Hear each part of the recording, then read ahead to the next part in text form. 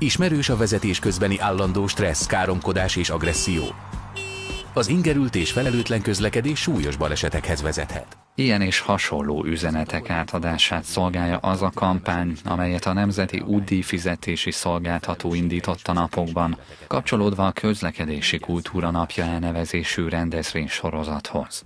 Az akció során minden közúti közlekedőt próbálnak megszólítani, hiszen az erőszakos viselkedést, így például a levágást, a nem megfelelő követési távolság tartását vagy a büntetőfékezést mindannyian tapasztalhatjuk az utakon, kortól és nemtől függetlenül. Ráadásul a hetek óta tartó járvány sem segít a helyzeten.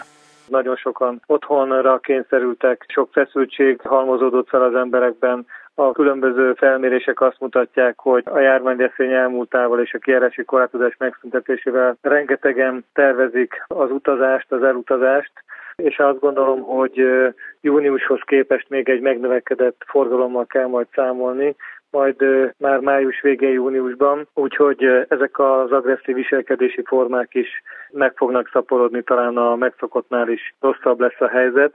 Ennek megelőzésére indult a kampány, melynek során a társaság különféle csatornáin közzétett figyelemfelhívó videókkal, rádióspotokkal, valamint rendszerüzeneteikben, e-mailjeiben elhelyezett üzenetekkel próbálják elérni a közlekedőket, a biztonsági az elsőbség szlogenhez igazodva. Videópályázatot is meghirdettek általános és középiskolások számára. A Hogyan vezetnek a szüleit című megmérettetés célja a fiatalok alkotásra és majd a közlekedési szabályok betartására ösztönzése.